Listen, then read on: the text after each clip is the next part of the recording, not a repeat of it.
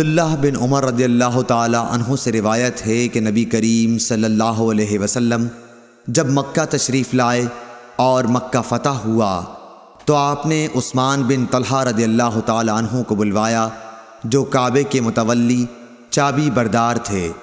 उन्होंने दरवाज़ा खोला तो नबी करीम सल्लल्लाहु अलैहि वसल्लम, बिलाल, उसामा बिन जैद और उस्मान बिन तलहा चारों अंदर तशरीफ़ ले गए।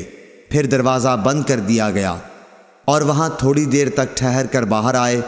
इबन उमर रदल्ला तु ने फरमाया कि मैंने जल्दी से आगे बढ़कर बिलाल से पूछा, क्या हज़रत सल्लल्लाहु अलैहि वसल्लम ने काबे के अंदर क्या किया?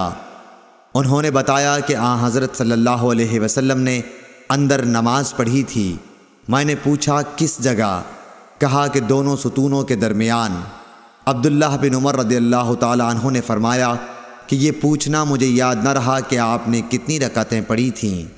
सही बुखारी, हदीस नंबर चार सौ अड़सठ।